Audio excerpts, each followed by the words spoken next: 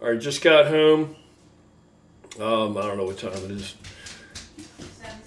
7:16 p.m. Went to work. That's all it is. Not bad. Went to work, uh, and after work I got out a little bit early, fortunately, and went by Retro, catch up with George, and to do back. I'm trying to pound things a little extra hard, you know, because I'm trying to get in the best shape I can get in in March. Um, tomorrow's the 15th, so diet starts tomorrow, you know. No more playtime with eating, which um, I'm glad I did things the way I did because I had started coming down too quickly, too early previously. So I'm glad I switched gears and, and blew back up because I'm bigger now by a great deal than I was when I first started then. So this is working out pretty good, and my conditioning's not that really that bad to be starting from here. Anyway, here's the awesome, awesome, cool news. Guess what George happened to receive that he had there in his office Jay Cutler. Now, of course, you know Jay Cutler, right? Surely you know Jay Cutler. Mr. Olympia, four times, ring a bell? Jay Cutler. Most awesome channel on YouTube currently is, uh, what is it, JT, Jay Cutler TV?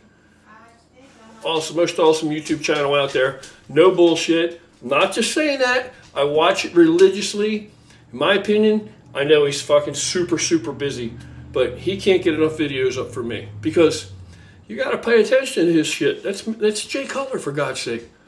So every you know little teeny thing, man, little tidbits that he just throws out there, that you know not only the ones that he consciously is putting out there, but shit that he don't even realize that is really important to somebody that he just says off the cuff because it's just day in day out life for him you can always pick up little gold nuggets from a guy like that. So I love his channel. I think he's got the best instructional videos on YouTube right now. It's freaking awesome. It's it's love it. Anyway, so you know who I'm talking about. Jay Cutler. Well, he's sponsored by uh, Otomix. Atomics. How do you pronounce this? Otomix? Anyway, so Jay sent George and I each pair of shoes. So I think that is so awesome, being that my birthday is nowadays. You know, this is the time of year my birthday is also here. So, what are you laughing about? Are you laughing I'm getting older? Another year older. Still here? Still here, not dead yet? Anyway, check out these badass shoes. These shoes are freaking so cool. Let me show these to you. Look at this. Tell me that's not badass. You know it is. You know it is. Look at them. And they feel like really, really awesome, really killer quality. I mean, I remember when these things first came out, like in the 80s or whenever the hell it was, and uh, late 80s, I think. I'm not sure. That's when I knew of it.